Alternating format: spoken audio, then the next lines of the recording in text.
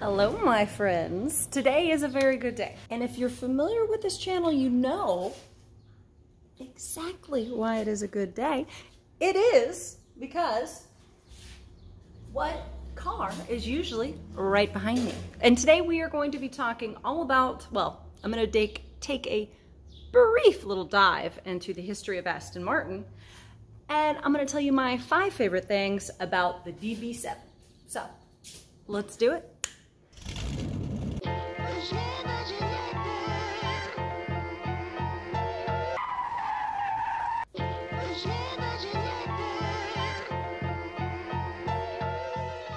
perhaps you are not familiar with this channel. Well, we cover primarily car history. That's my cup of tea. All things cars, anything I get my little hands on. And if that is your cup of tea, then go ahead and press the subscribe button too. Look at this precious. Look at this the precious mechanic caught in the wild right there. Oh. Anyways, now naturally you know, let me fix that a little bit. Naturally you know I'm going to tell you a little bit about the history of Aston Martin because that's my thing. So let's go ahead and go back to 1913 when Lionel Martin and Robert Bamford, is it Robert? I'll check on that first name in a second. But Lionel Martin and Bamford joined together in 1913 and they are selling Singer motorcycles. You might recognize the name Singer, that is also the Singer sewing machines. I was right, it was Robert. Anyways, so Martin and Bamford get together and they decide that they want to create their own vehicles. All right, and they name them Aston Martin. Now, clearly, Martin for the last name of Lionel Martin, but I feel like they really missed out on an opportunity of not including the last name Bamford because that's a pretty cool last name. And now Aston, where did that come from? Well, that came from a speed hill climb that Lionel Martin did very good during speed trials. And there's actually a monument to Aston Martin at the Aston Hill. All right, so like I said, I'm making this a lightning round. 1915 is when their first car comes off, rumbling off the production line. Unfortunately, that's right around the time that World War I is also having some rumblings. So,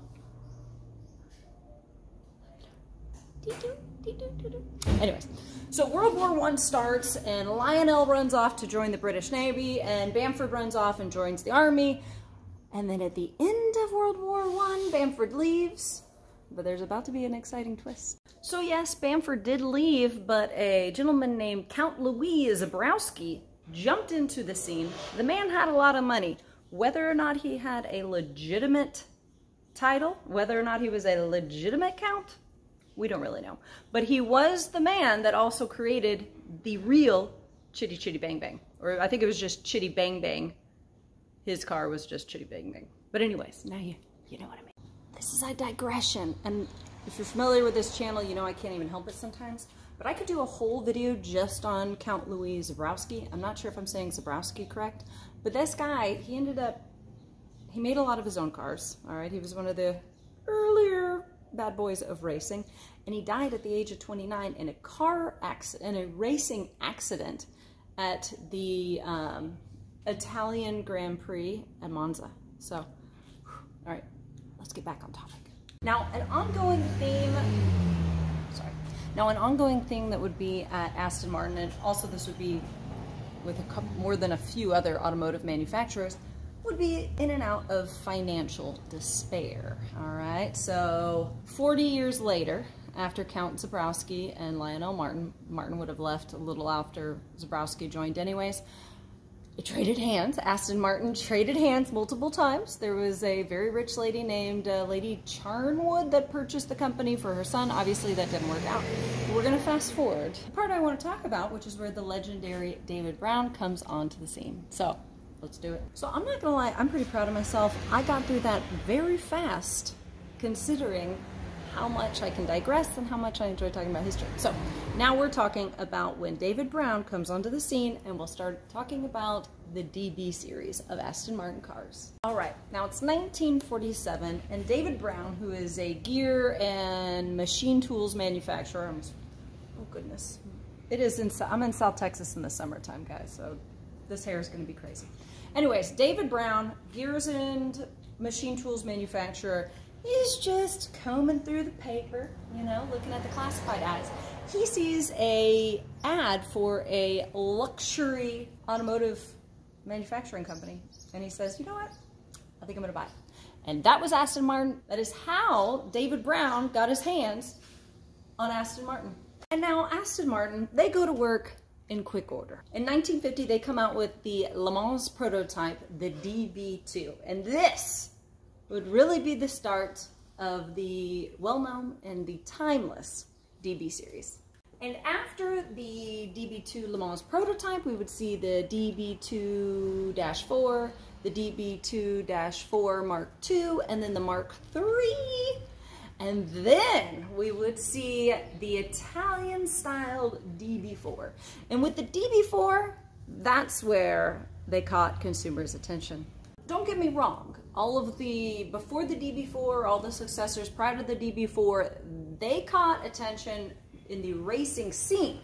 But the DB4 with its Italian styling that debuted in 1958, that's when consumers started paying attention.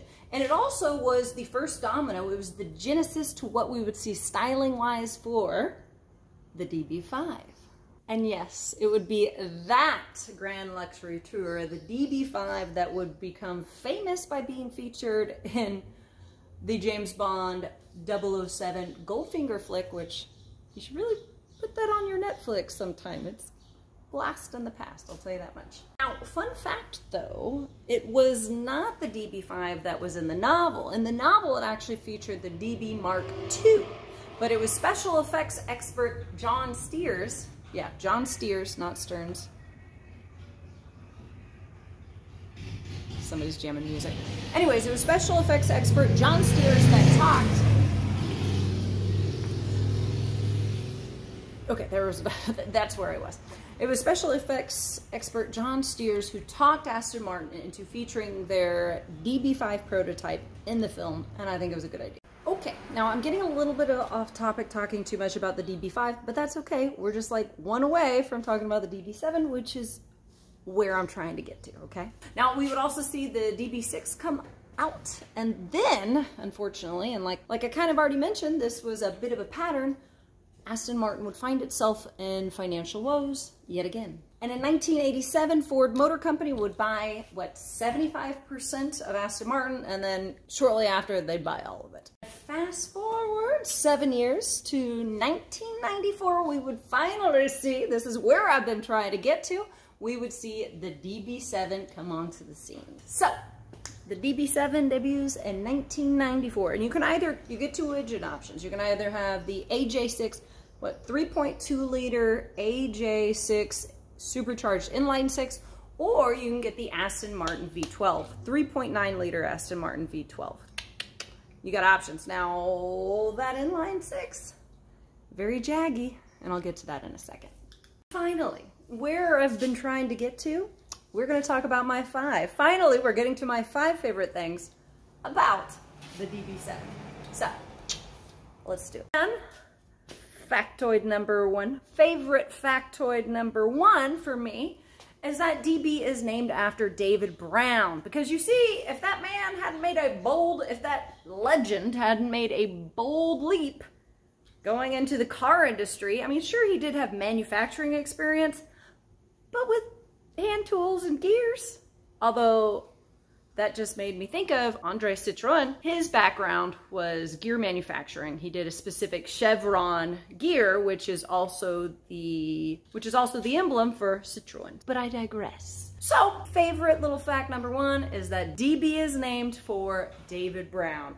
And without him, we would have never had the classic DB David Brown series of cars from Aston Martin. Round of applause.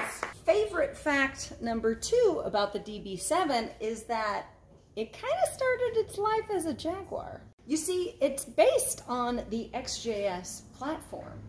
And that engine I mentioned, the AJ6 inline 6, well, that was based off a Jaguar engine, all right? And much of the DB7 was configured heavily by Jaguar resources. Favorite fact number three about the DB7 was the massive amount of talent that was behind the design team on this car. On the design team for the DB7 was Ian Callum and Keith Helfet. Callum, on his background, has the Jaguar F-Type and the Aston Martin Vanquish. Kind of a big deal. And Helfet participated in the design of the XJ220. And number four, favorite little fact about the DB7 is that it was, at its time, one of the most produced Aston Martins. That is until the DB9 rolled off the production line in 2004. In total, Aston Martin produced 7,000 of the DB7s. My hair is just getting poofier and poofier, all right? It is South Texas. It is hot as the dickens. Like, I don't know if you can see, I got a little sweat mustache, but keeps me young, whatever. Now, fact number five, and this kind of might be, you know, I like the weird little quirky facts. This might be one of my favorites, okay? And it's all about, now, this is not new. Here, I've already started talking and didn't even tell you my favorite fact. That's, I'm to introduce it this way, so I'm to keep going. Anyways, already told you that this was heavily resourced by Jaguar, right? Now, also, it's not any kind of it's not any novelty. It's not any kind of new thing that automotive manufacturers will dip in their parts bins and other people's parts bins too to create a car with a little more costly, all right? Bean counters, right? Now, that's where I'm going with it, all right? Fact number five, favorite little fact number five about the DB7 are these side mirrors. Let me tell you about them. It's nice because I did just mention Citroen. What was I talking about? Andre Citroen. And these, these side mirrors were borrowed Citroen. All right? Now, that's not even where, that's not where it ends. Okay, this car, the DB7 wasn't the only car to borrow those side mirrors. All right? It actually, there is a stable of supercars that have borrowed that side mirror. All right? the Jaguar XJ220, which I guess that makes sense because there was the same, the Helfet was on both design teams, right? And, and the Lotus Esprit, love it. Love it, love it, love it. Tell me, what is your favorite of the DB series? Huh? What's your favorite James Bond film? And did you know that they actually used, it wasn't just the DB5 and the DB series was not just the entire car that's ever been featured in James Bond. It's been like, there was a Volkswagen, there was, uh, what was the other funky one that we were talking about? Uh, uh, anyways, we covered this on the radio show. Don't remember off the top of my head. I swear these, one of these days, an extension cord is gonna get me. Um, what is your face what is your favorite Aston Martin? What do you see in the background of here that you think I should make a video on? I've made a video on a lot of them, frankly. I could do the TR series again. That's always fun. You know me, I'm always talking about first generation Mustangs. My next video is definitely gonna be this old Willys Jeep because I love it, but um, anyways let me know. All right, guys. Well, I hope you enjoyed that little informal and kind of long-winded history trip. All right, and little factoid session about the DB7. If you're wondering where I am, well, let me show you.